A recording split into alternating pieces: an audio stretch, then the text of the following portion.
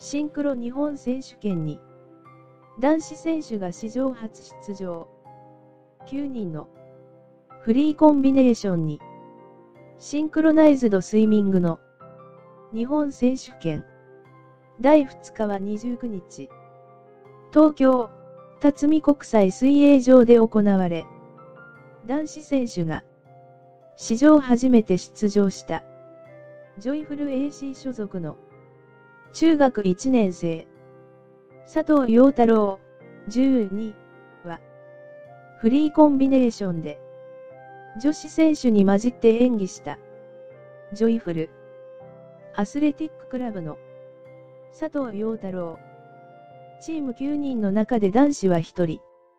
上半身裸の丸刈りの少年は、どうしても目につくが、動きに違和感はない。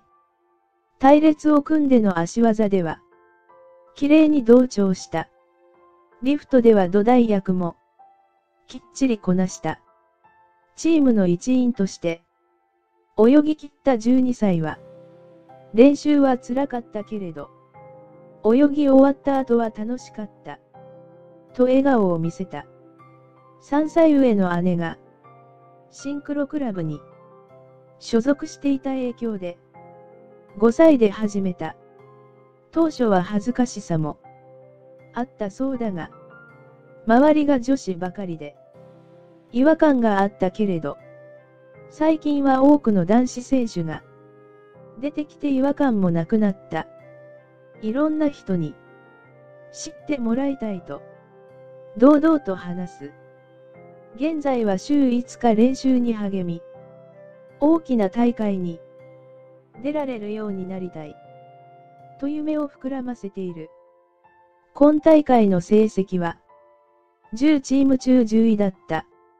日本水泳連盟は男子の競技普及のために、昨年から男子選手に、門戸を開放。現在、五輪に出場できる。種目はないが、世界選手権では、15年から男女でペアを組む、混合デュエットが、採用されている。日本は安倍敦が、足立由美と組んで、出場している。関連記事。初の男子選手は、笑顔の中学1年生。シンクロ日本選手権。29日。シンクロナイズド。スイミング日本選手権。外国選手が参加する。ジャパンオープンと同じ。会場で行われている。日本選手権に。男子選手が初めて出場した。中学1年の佐藤陽太郎。茨城、ジョイフル。アスレチッククラブ、で、唯一、下半身のみを覆う。水着を着用。